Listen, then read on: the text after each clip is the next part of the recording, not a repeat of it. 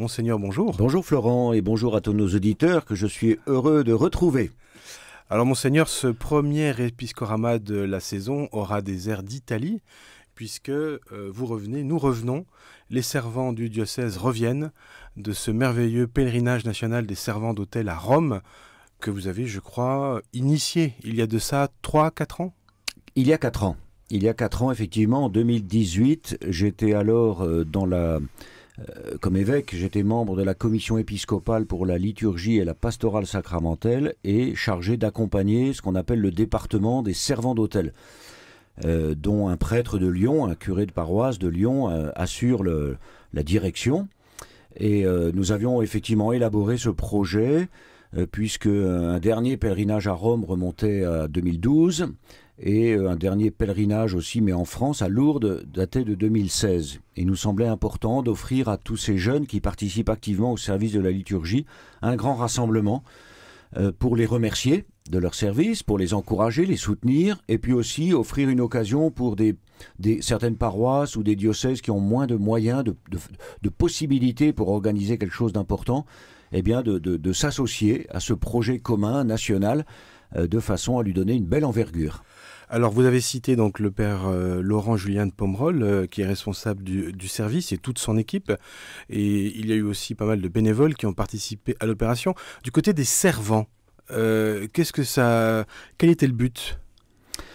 Bien, le but, c'est, je le disais, donc déjà de les remercier. Le pape l'a fait aussi, hein, le dernier jour du pèlerinage, en s'adressant à eux, les remercier pour leur service, en leur disant qu'ils peuvent être des modèles et les invitant à être des modèles pour euh, tous ceux qui participent à la liturgie de l'Église, mais aussi pour les, stimuler dans leur foi, pour leur offrir un, moment, un pèlerinage, c'est ça, c'est un moment de rencontre avec le Seigneur Jésus et en même temps euh, une occasion de découvrir l'Église dans une autre dimension que celle de sa petite paroisse euh, dans la campagne ou au cœur d'une ville. L'expérience que l'on fait à Rome en pèlerinant sur la tombe des apôtres, en allant dans les basiliques majeures, en rencontrant le pape, et puis rien qu'en se déplaçant dans la ville de Rome, dont on voit tous les signes chrétiens de, la, construction de ce monde chrétien en Occident, eh bien rien que cela touche le cœur, touche l'intelligence, et pour tous ces jeunes, c'est une découverte pour la plupart, mais donc un grand moment de, joie, de, stimulation dans leur vie spirituelle, dans leur euh, élan missionnaire aussi, puisqu'ils ont une mission à accomplir, leur vocation de baptiser. Alors pour les jeunes, c'était effectivement une très grande découverte. Euh, déjà, des remarques qu'on a entendues par la, taille des basiliques majeures. Nos cathédrales pourraient entrer dans la nef tellement elles sont grandes, immenses, magnifiques. Euh, déjà, il y a eu une espèce de choc artistique. Euh, la beauté des lieux participe aussi à la compréhension du mystère. Oui, bien sûr. Rome comporte un nombre tout à fait incroyable d'églises, de toutes petites églises jusqu'à ces immenses basiliques, en particulier les quatre basiliques majeures. Je pense bon, euh, Saint-Jean de Latran, la cathédrale de Rome, euh, Saint-Paul et, Saint-Pierre, et puis Sainte-Marie majeure. Et donc, euh, ce sont des, églises dans le style, avec tout le, côté baroque italien. Mais il faut se rappeler que c'est au IVe siècle que les premières basiliques ont été édifiées à Rome après l'édit de Milan en 313 où l'empereur Constantin rendait possible le culte chrétien après tout un temps de graves et lourdes persécutions. Euh, contre les chrétiens. Et donc, euh, on voit cette émergence de l'expression de la foi et de tous ces édifices calqués sur les édifices de l'Empire romain euh, pour rassembler les foules. Et on voit bien qu'à Rome, non seulement dans les basiliques, mais sur les, places, comme la place Saint-Pierre, eh bien, on peut rassembler des foules immenses, toutes ces foules de pèlerins. Donc, il y a effectivement un choc culturel. On voit bien que la vie dans les rues de Rome aussi est très différente de celle que nous connaissons euh, euh, dans notre dans notre cher pays, la France, et, en particulier dans la Marne, à Chalon ou à Sainte-Menou ou à Vitry-le-François. Mais euh, cette, cette découverte, cette nouveauté, effectivement, suscite la curiosité en tout cas. Et donc on s'interroge, on cherche à comprendre comment tout cela est apparu, tout cela s'est développé. Et c'est effectivement l'Église qui a, porté tout ce, grand développement, euh, ce rayonnement de la foi. Alors, mis à part la découverte, la culture, euh, le soleil et la chaleur, on peut le dire aussi. Ça, c'est vrai. Euh, les jeunes ont bénéficié de catéchèses. Quel est l'intérêt d'amener des jeunes euh, à plusieurs centaines de kilomètres et euh, de, leur faire le caté C'était quoi le but?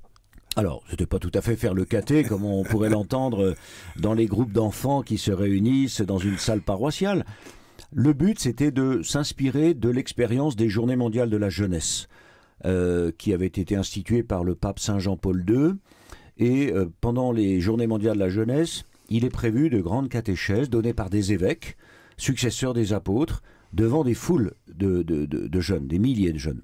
Et là, nous avons pensé reproduire le, même schéma avec des catéchèses brèves, 10 à 15 minutes, pour cette foule de 2500 jeunes venus de 51 diocèses français, euh, de façon à leur permettre d'entendre un, même discours stimulant.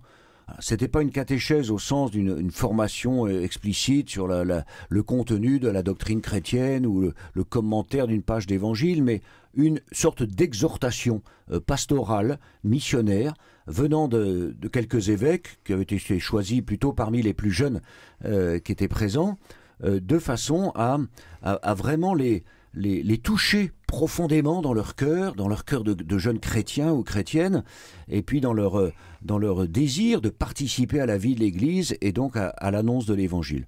Donc ce sont des moments forts. Moi-même, j'ai eu la joie d'en donner une, euh, une catéchèse sur le thème La joie de servir, c'était le, jeudi matin. Ben, je peux témoigner ici que euh, être évêque, euh, debout, dans une grande église, grande basilique, avec 2000 jeunes assis par terre, qui vous écoutent dans un silence religieux, c'est le cas de le dire, très, enfin, plein de grande attention, alors qu'on vient de chanter, taper dans les mains et d'exprimer notre joie de, de rencontrer Jésus.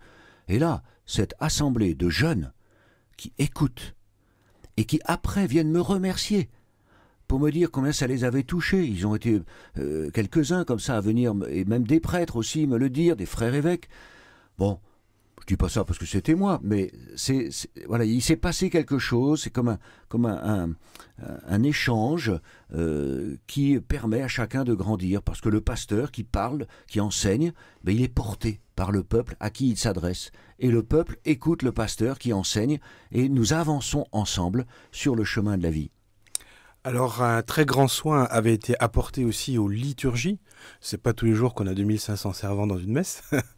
Euh, alors pourquoi est-ce que y a eu autant d'attention à la beauté, à la qualité euh, des liturgies? Ben Parce que partout dans toutes les paroisses de France, euh, nous faisons attention à aider tous ces jeunes qui participent à la liturgie à s'appliquer dans l'accomplissement des gestes, des, attitudes, des mouvements d'ensemble, des processions, etc parce que ces gestes ont du sens. La liturgie, c'est quelque chose de sensible. C'est ce qu'on voit, ce qu'on touche, ce qu'on entend, qui nous permet d'entrer dans le mystère de Dieu. Sinon, Dieu est inconnaissable.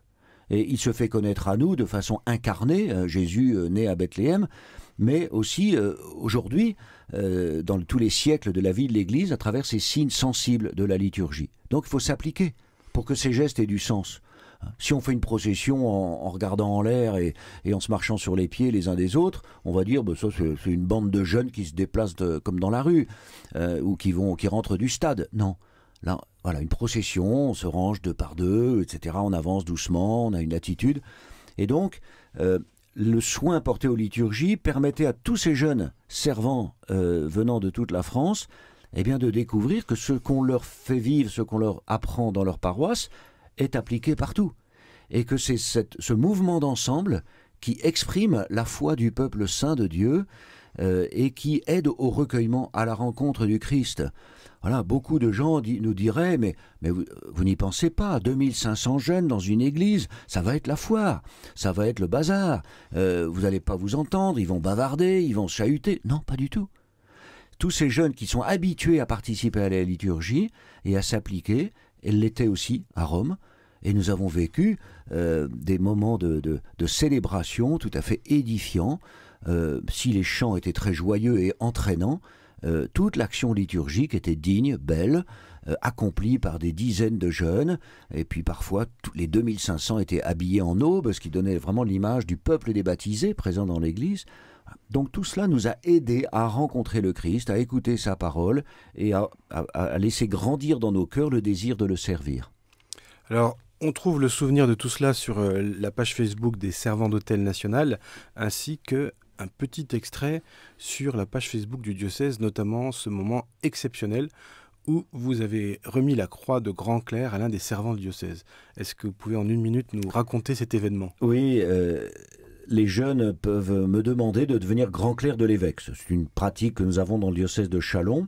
Et à ce moment-là, les jeunes s'engagent à être à la fois formateurs des plus jeunes dans leur paroisse et en même temps, ils bénéficient d'une sorte pas de privilège, mais ils, peuvent servir de façon plus proche l'évêque lors des grandes célébrations diocésaines, en particulier à la cathédrale. Alors, un jeune m'avait écrit au mois de mai, au mois de juin, je lui ai répondu au mois de juillet, puis nous n'avions pas encore déterminé le lieu et le moment pour lui remettre sa croix et qu'il s'engage. Alors, euh, très spontanément, avec le don Antonin, le responsable, eh nous avons pensé pouvoir le faire à Rome, et comme ce garçon s'appelle Paul, nous l'avons fait à la basilique Saint-Paul et j'ai pu obtenir l'autorisation de la faire même sur le tombeau euh, de l'apôtre Saint Paul. Alors c'était un grand moment d'émotion euh, pour tous les, 30 servants du diocèse de Chalon qui participaient, tous les gens qui ont assisté aussi autour de nous. Nous sommes descendus dans la confession, hein, sous l'autel de la basilique, sur le tombeau de l'apôtre. Et euh, Paul s'est engagé. Je crois que forcément, c'est pour lui un moment très important, inoubliable, qui, le marquera toute sa vie et qui peut orienter justement son, désir de, participer à l'annonce de l'Évangile. Alors, un autre grand moment, le sommet sans aucun doute du pèlerinage, c'est la rencontre avec le pape François. Oui, alors le pape n'est pas Jésus-Christ, bien sûr. Euh, on rencontre Jésus dans la célébration de l'Eucharistie, mais euh, il y avait une excitation qui montait en puissance, euh, bien sûr, le dernier jour, parce que les jeunes savaient que nous allions être reçus par le Saint-Père en audience privée. Alors dans la grande salle Paul VI, qui peut contenir 6000 personnes, nous étions 2500, et effectivement, entre la messe et l'arrivée du pape, on a senti euh, à la fois une immense joie qui s'exprimait dans les chants, les, claquements des mains, les applaudissements, et puis après un recueillement qui a été amené tout doucement, et nous avons prié l'Ave Maria plusieurs fois, comme un murmure aux intentions du pape. Et puis, euh, alors, l'exultation profonde lorsque le pape est entré. Il a adressé un très beau message à tous les servants, que tous les adultes d'ailleurs pourront reprendre. Je le fais dans l'éditorial de l'église de Chalon pour le mois de, septembre, pour justement être des modèles et puis s'enraciner dans l'Eucharistie, dans la prière, et, et puis ne pas évacuer la question de la vocation. Euh, à quoi le Seigneur m'appelle Comment je vais m'engager dans la vie de l'église Je trouve que c'était très très beau. Et puis, sans oublier bien sûr le service dans la vie quotidienne, pas qu'autour de l'autel et à l'église, mais auprès des plus pauvres et des plus fragiles tous les jours. Voilà, des points de repère très simples qui, ont, été retenus par les jeunes et qui nous seront euh, utiles aussi à tous pour, euh, pour poursuivre notre, notre vie de, disciples missionnaires. Alors, un autre aspect de notre vie de disciples missionnaires, c'est le, témoignage au cœur du monde. En une minute, la foire de Chalon, on en parlera dans d'autres émissions, mais pourquoi est-ce qu'on y va? Oui, ben, du 2 au 12 septembre, il y a la foire de Chalon, événement euh, important dans la région. J'ai souhaité que l'Église catholique y participe parce que nous ne, sommes pas, vivons pas hors du monde. C'est un espace de rencontre où tout le monde vient euh, et euh, l'Église est là, non pas pour imposer quelque chose de force, pour faire du prosélytisme, mais elle est là, elle accueille, elle écoute, elle propose, elle offre et, c'est un espace de dialogue au cœur de la foi. Nous y participons avec le diocèse de Reims sur un stand qui s'appelle Église catholique en Champagne-Ardenne. C'est dans le hall 2 et je donne rendez-vous à tous les, les visiteurs de la foi venir passer euh, sur notre stand. Monseigneur vous remercie. Merci Florent.